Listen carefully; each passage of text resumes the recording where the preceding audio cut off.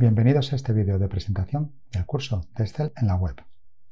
Yo soy Francisco José Carrasco. Soy formador certificado de Microsoft con más de 25 años de experiencia. Aquí puedes ver algunas de mis certificaciones y puedes ver mi dirección de LinkedIn. Para hacer este curso, simplemente hay que tener conocimientos básicos de Windows. Vamos a ir viendo cómo podemos nosotros trabajar con los archivos. Veremos cómo editar los documentos.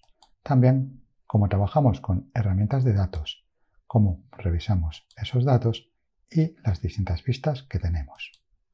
Hasta aquí este vídeo sobre Excel en la web. Espero que te haya gustado.